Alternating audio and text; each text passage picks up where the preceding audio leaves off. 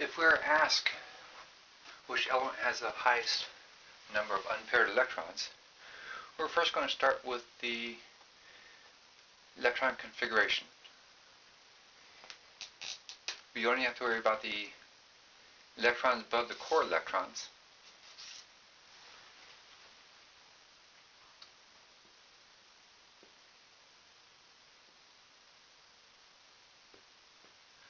We write out the electron configurations.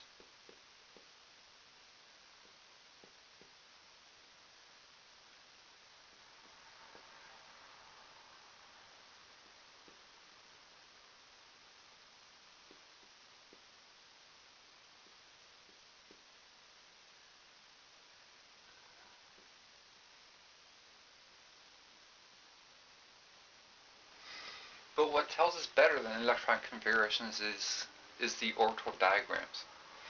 So we do the orbital diagrams.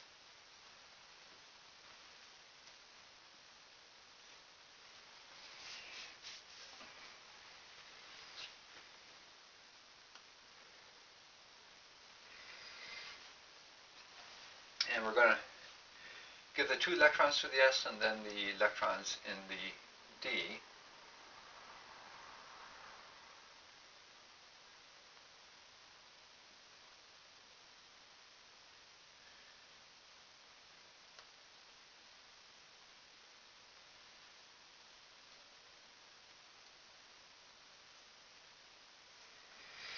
And we're going to check to see if we need to move any of the s electrons into the d. And we'll move them in if we can complete the d with either a single electron or two electrons in each orbital. So far we don't have that ability to move one electron over and complete off a set on the d.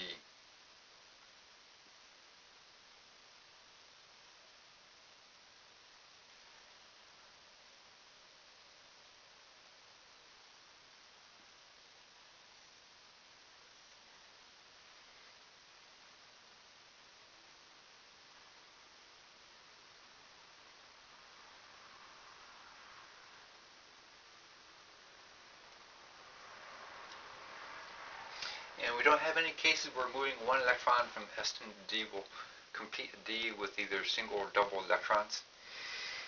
So these are the orbital configurations. So we have one, two unpaired electrons, three unpaired electrons, two, and none.